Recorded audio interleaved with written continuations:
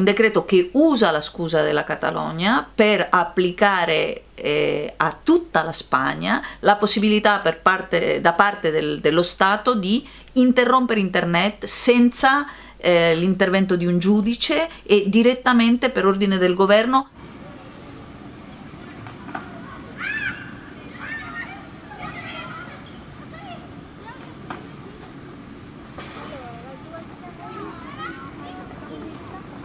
Questa l'app dal Tsunami Democratico, eh, prima per collegarti hai bisogno di un codice QR. Io per esempio il mio l'ho ottenuto andando in una manifestazione, lì l'ho, scannerizzato e una volta ce l'hai eh, puoi accedere nella tua area c'è anche una parte dove mostra i messaggi di coordinazione. L'app c'è anche una, un menu dove puoi dire la tua disponibilità a livello orario alla tua disponibilità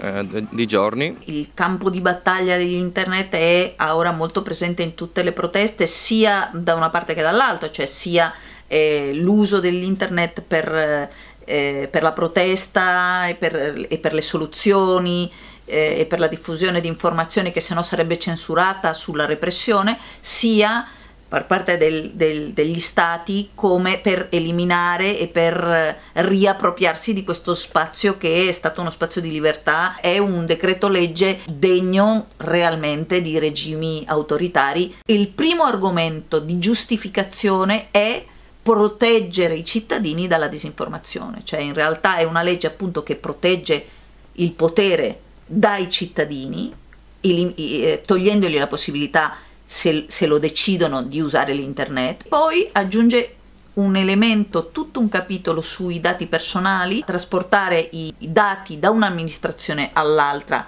senza chiedere permesso, si omette completamente, mentre che è, un, è, un, è obbligatorio per il regolamento europeo, il dovere di informare i cittadini di questo trasporto. Se lottiamo per la libertà di espressione fuori dall'internet e non ci occupiamo di difenderla anche in internet, la stiamo perdendo sia da una parte che dall'altra. Dobbiamo